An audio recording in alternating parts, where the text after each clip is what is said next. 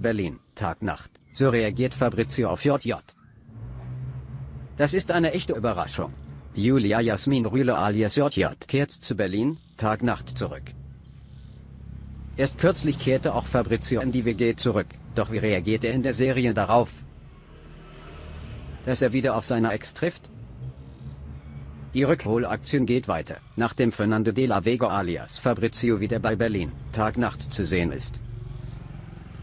Kehren auch bald Falco Ochsenknecht alias Ole, Randy Fram alias Theo sowie Minu alias Caro in die Serie zurück.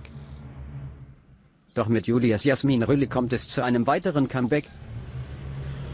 Sie wird wieder als JJ in der Serie zu sehen sein. Damals waren Fabrizio und JJ in der Serie zusammen Minus. Zwischen den beiden knallte es aber auch immer wieder heftig.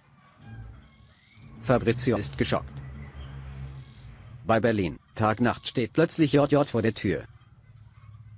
Fabrizio ist völlig fassungslos, dass er wieder auf seine Ex trifft. Eigentlich hat er mit dem Kapitel abgeschlossen. Er ist überfordert, denn sofort kommen negative Gefühle in ihm hoch. Wegen ihres Abgangs damals macht Fabrizio ihr bittere Vorwürfe. Fabrizio ist frustriert und lässt seine Wut an seine Kollegen ab. Doch noch ahnt er nicht, dass JJ wieder in der WG einziehen wird, das bringt dann das Fass endgültig zum Überlaufen. Den Einzug will Fabrizio mit jedem Mittel verhindern.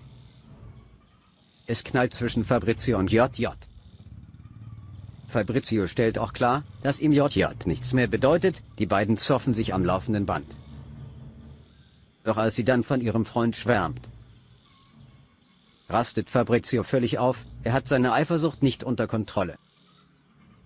Doch als Peggy begeistert von der Bar von JJ berichtet, geraten die beiden kurze Zeit später erneut aneinander. Dann will er mit Ole der Szene-Location einen Besuch abstatten und werden dort von JJ überrascht. Die Fronten sind verheert, eskaliert die Situation zwischen Fabrizio und JJ komplett? Oder feiern die beiden vielleicht sogar doch ein Liebes-Comeback?